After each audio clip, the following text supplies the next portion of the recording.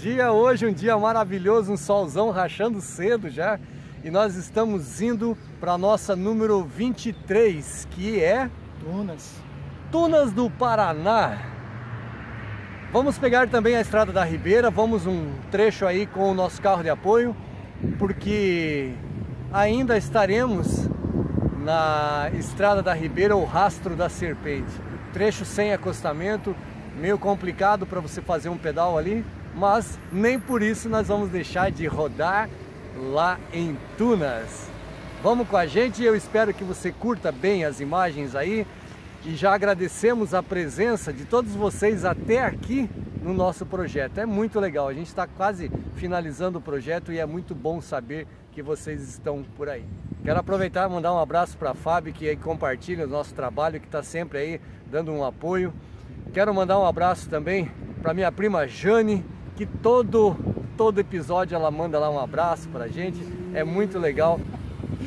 Também quero que você deixe um abraço aí para alguém, deixa um comentário que é muito bacana e isso fortalece o nosso projeto, fortalece o nosso canal.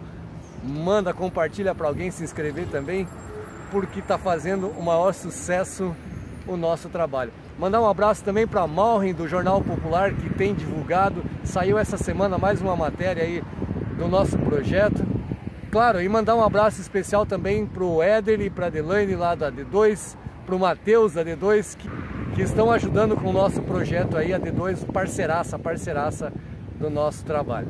Grande abraço e vamos rodar por Tunas! Vamos lá!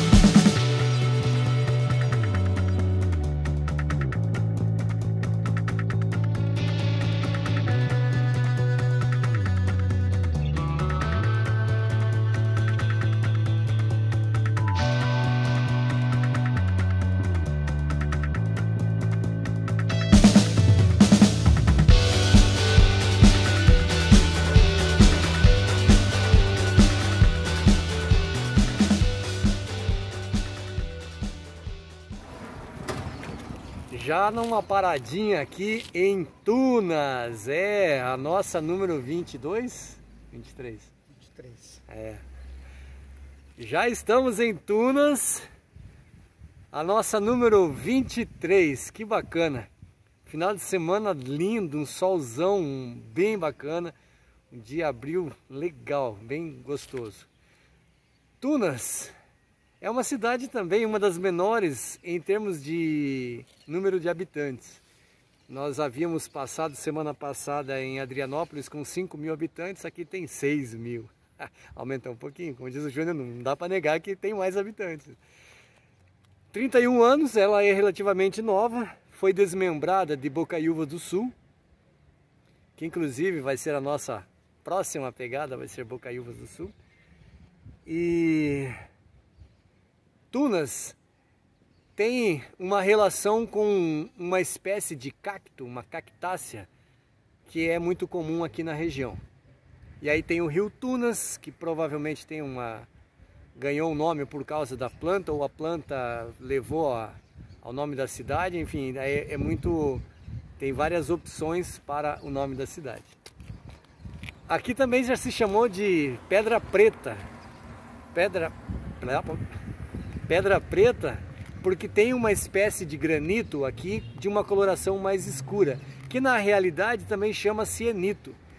É uma versão diferente de granito e também, já falando em granito, esse é um dos pontos da economia aqui de Tunas. A extração mineral, sai muito granito da região aqui.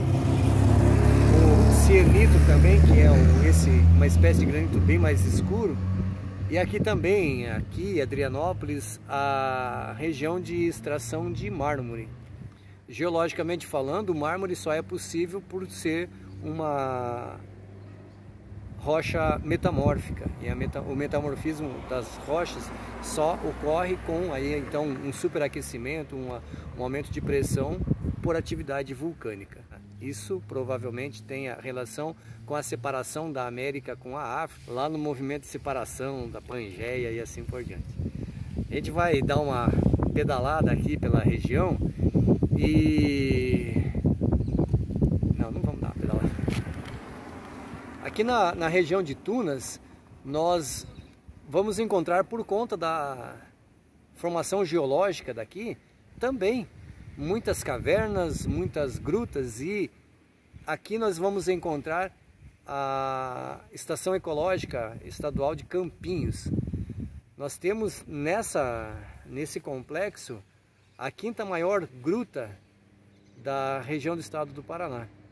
Vale a pena fazer uma visita a Campinhos. É um patrimônio espeleológico, então é uma reserva de proteção para quem vai fazer estudo espeleológico. Espeleológico é o indivíduo que vai estudar as cavernas, que vai estudar as grutas. Aqui é um ambiente muito propício e fica a dica para você que tem interesse em conhecer esse tipo de movimento, esse tipo de é, formação geológica, Campinhos é uma boa pedida, pertinho de Curitiba, é um pulinho daqui ali, então fica aí o convite. Só não dá para vir de bike, infelizmente, porque não tem acostamento nessa região aqui, a estrada da Ribeira, o rastro da serpente não permite, bem complicado mesmo. Mas bota a bike é, na garagem por um instante, pega um carro e vem passear, o convite fica feito da mesma forma. Essa entrada, a chegada aqui para Tunas, nós fazemos o percurso pela 476, aquela mesma que passa em Araucária, que vai para São Mateus.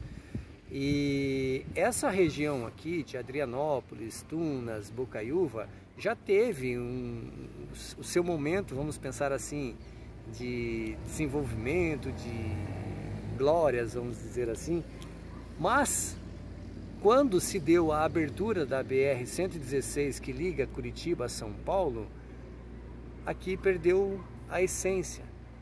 A Estrada da Ribeira era no passado o principal elo de ligação do Paraná com São Paulo. Atravessava-se para São Paulo via Estrada da Ribeira. Aí, evidentemente, que quando você abre a, a BR-116, ela perde o sentido. E aí você tem uma decadência dessa região aqui sobrevivem hoje do extrativismo principalmente. A, a, a dinâmica do hortifruti granjeiro também vai estar aqui em Tunas para o abastecimento da grande capital, mas a abertura da 116 causa um impacto muito grande na região.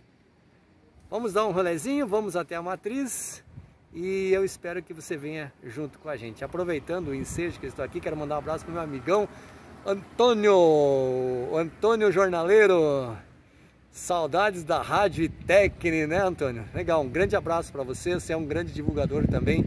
Teu jornal eu sei que chega aqui na região de Tunas, então vai aí nosso abraço para você.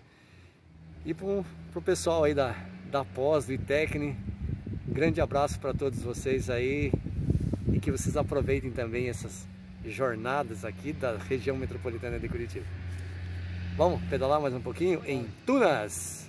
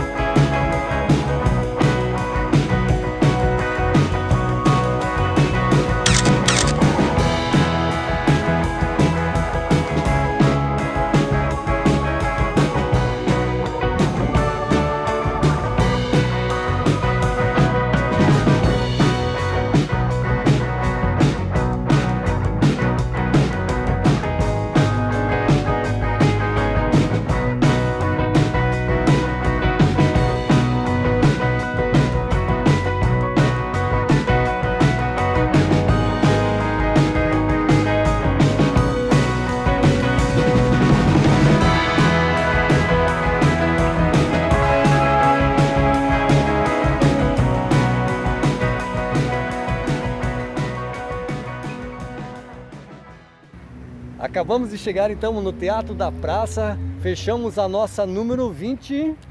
23. 23, Tunas do Paraná. Passamos lá pelo Rastro da Serpente. Foi um pedal bem bacana. Fomos com o carro de apoio e chamamos atenção para isso. É legal ir passear de bike, é bom fazer um pedal, mas faça com segurança. A Estrada da Ribeira para pedal, nós não recomendamos. Trecho sem acostamento, muito sinuoso, subidas e descidas, muito caminhão. E aí é um problemão. Mas foi legal. Fomos com o carro de apoio, isso não impediu de nós realizarmos mais essa etapa do projeto. Fechamos aqui então com sucesso. Grande abraço para vocês, se inscreve no canal, dá um joinha, faz um comentário. Vou fechar aqui um abraço também para Lia, que acompanha a gente no nosso dia a dia aí dos pedais ela sempre dá uma força, ela sempre comenta por lá. Bem legal também. Vou mandar um abraço aqui para os meus vizinhos do Jardim das Américas, principalmente para o Anderson, tá desde o começo, meu vizinho, acompanhando a nossa, a nossa trajetória. Grande abraço e nos vemos então na nossa número 24, reta final. Grande abraço!